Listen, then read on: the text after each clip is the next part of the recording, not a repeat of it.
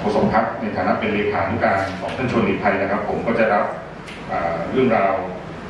หนังสือร้องเรียนจากพี่น้องประชาชนไว้นะครับ ในกรณีของอเขาถูกกล่าวหาจากเจ้าหน้าที่ว่าเป็นผู้ที่อยู่ในบัญชีรายชื่อเป็นบุคคล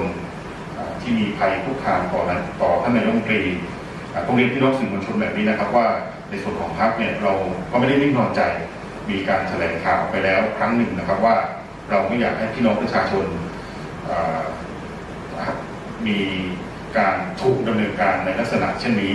ท่านนายกรัฐมนตรีไม่ควรที่จะผลักพี่น้องประชาชนไปเป็นศัตรู และข้อเท็จจริงที่ชัดก็คือ กรณีพี่น้องประชาชนในจังหวัดราชบุรีตามที่ปรากฏเป็นรายชื่อ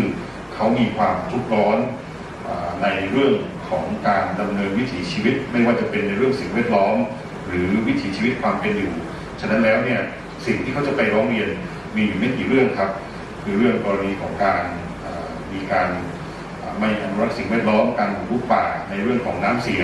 ซึ่งสิ่งต่างๆ เหล่านี้เนี่ยการที่พี่น้องประชาชนจะเดินเข้าไปหาท่านนายกรัฐมนตรี หรือว่าทีมงานของท่านนายกรัฐมนตรีในฐานะท่านเป็นนักการเมืองเป็นคนของพี่น้องประชาชน ท่านก็ต้องต้อนรับพี่น้องประชาชน แต่ถ้าเกิดจะบอกว่าคคลต่างๆเหล่านี้เป็น บุคคลที่มีภัยคุกคามต่อพี่น้องประชาชน ก็ถือว่าท่านไม่ได้เป็นนายกรัฐมนตรีที่อยู่ในระบบประชาธิปไตยอย่างแท้จริง เพราะท่านไม่รับฟังความเห็นต่าง ในเรื่องนี้พักก็ได้ติดตามรายละเอียดอย่างใกล้ชิดนะครับเนี่ยอย่างอย่างที่ว่าเขาประนามชาวบ้านพวกเนี้ยแล้วพวกยูเนี่ยที่พูดเดือดร้อนเนี่ยมานานติดกว่าปีแล้วที่ร้องเรียนกันมาตลอด แต่ก็โดนกันกันมาตลอดนะ ว่าเป็นภัยคุกคามยูคิดว่า ไอ้คำพูดเนี้ยมันแรงกับประชาชนมากไปอะแล้วต่อไปอนาคตถ้าเราไม่ถ้าเราไม่ออกมาเนี่ย ไม่ออกมา เอ่อมาชี้แจงความจริงเดี๋ยวก่อนเนี่ย ต่อไปนะเขาคงไม่ตั้งเลวร้ายกว่านี้อีกนะนะคะเพราะว่า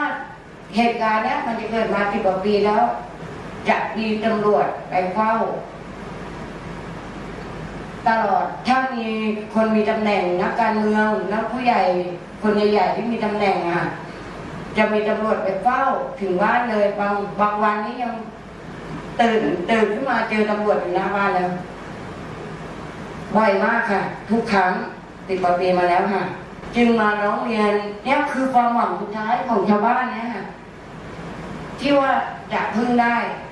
เพราะที่ผ่านมาเนี่ย มีที่เดียวค่ะ ที่ยังไม่เคยไปร้องเรียน คือศาลกับศาลพระภูมิกับศาลเจ้าอะที่ไม่เคยไป นอกนั้นไปหมดในประเทศไทยอะ